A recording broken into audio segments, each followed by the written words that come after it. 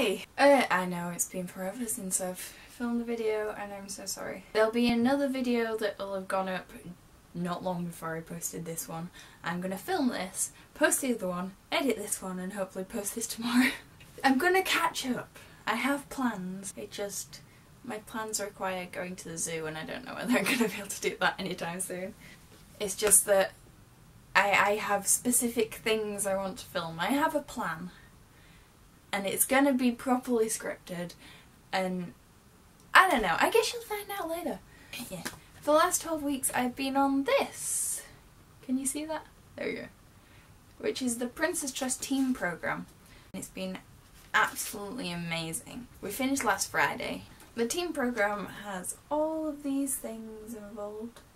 A different thing more or less every week. The first week is meeting everybody Second uh, week you go on a residential trip. We went to the Lake District.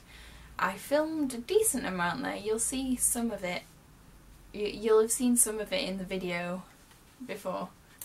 The third week we did a community project which we had to organise fundraising, find somewhere that would let us do a project for them and then go and do the fundraising, go and do the project and that was over three weeks. It was amazing. The first week was fundraising, the second week were we were at a care home clearing out all of the downstairs because the basement was an absolute tip. There was stuff in there from that was probably older than some of the residents.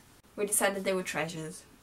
And every now and then Nick would come running up the corridor, just be like, Beth, Beth, I found you some more treasures to go through. Third week of that we were at the YMCA allotment, clearing all that up for them because it hadn't been used since like last summer and walls had fallen down and there wasn't a fence. They, were, they wanted a compost heap building and the ground needed turning over and de-weeding and we were there for four and a bit days and we got so much done, it was insane. The week after that we got ourselves work placements and for two weeks we all went off on work placements. I did Reading for the Disabled and a doggy daycare centre.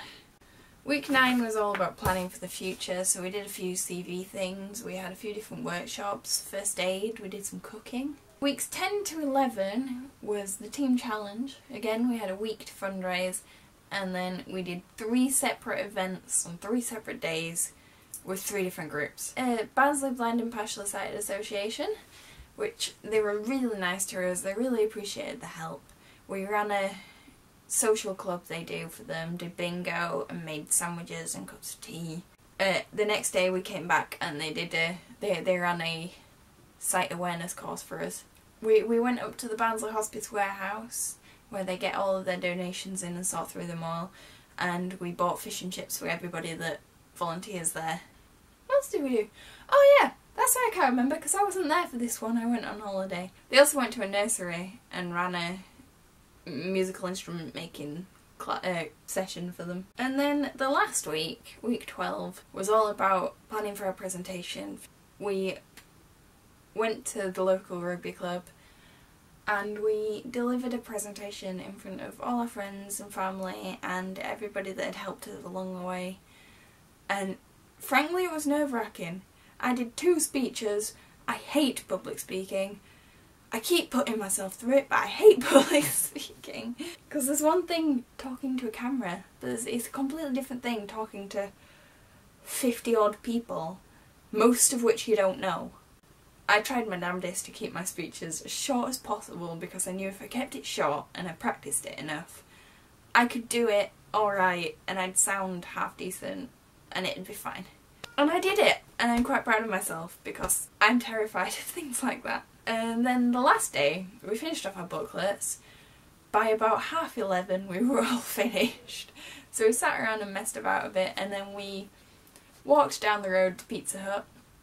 If you're thinking about doing the Prince's Trust uh, team programme, or any of the other Prince's Trust programmes, I don't know what any of the others are like. It's, it's worth it. It's a hard 12 weeks. It's not easy, but it's a lot of fun. A chance to do things that you've never done before And if you don't get anything else out of it, it's a qualification. The, these last 12 weeks have been amazing. I've done things that I never would have done before, even with scouts. And I'm not talking about the residential because like I've done all of that stuff before. But it was oh, it was amazing. And I've made some absolutely fantastic friends who hopefully will be my friends for a very long time. Hopefully forever. So I would recommend it 100%. It's so worth all of the hard work. It's proved to me that I'm more capable than I thought I was and my self-esteem's taken a boost because I know that I can do it and I know that people genuinely do like me. Like I keep saying it and Bex every time I say it she's like no it's true people really do like you. Oh it's been fantastic. I would do it again if I could so you guys should go and do it for me. Like I said I have other videos planned out that hopefully I'll be able to do in the next few weeks. I have another job now, so all, all I'm waiting for is my first paycheck to come through. So I will see you all soon. Thanks for watching, and uh, I don't know, follow me on Twitter to find out when I'm going to film another video.